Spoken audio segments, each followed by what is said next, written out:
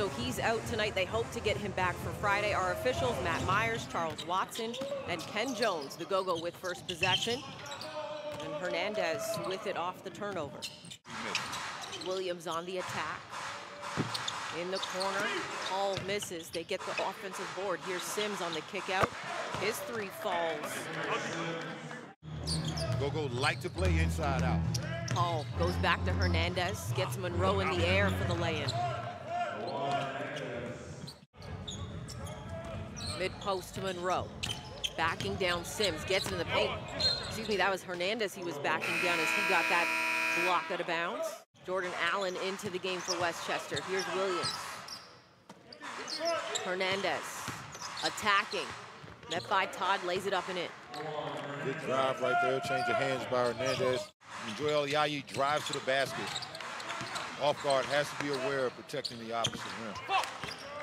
Hernandez gets that to go in the paint. Oh, there were 12 so close. there were 12 free agents on that team, I remember. So think about that. Nobody coming back the next year and everybody trying to get a contract basically. So close as the Knicks start the third quarter. Monroe now with 21 points. This is his first, Tony, 20-point game in the U.S. since 2017. Wow. That is an impressive stat. Greg Monroe. Hernandez takes it away. Monroe tracking him down. Hopefully he doesn't pick up another.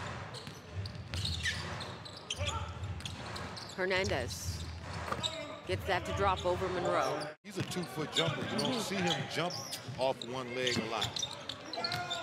Winston, three in transition, doesn't go. Loose ball on the ground, collected by Hernandez. They go to Hernandez. The double comes. And just a little too much on that. Gets it back. Works off Hernandez.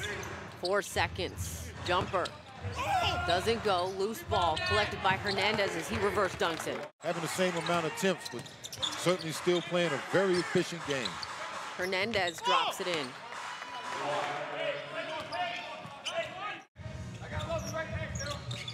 Giroux works off Monroe again. I like the way Giroux keeps his dribble alive. On the inbound, Hernandez. Walker.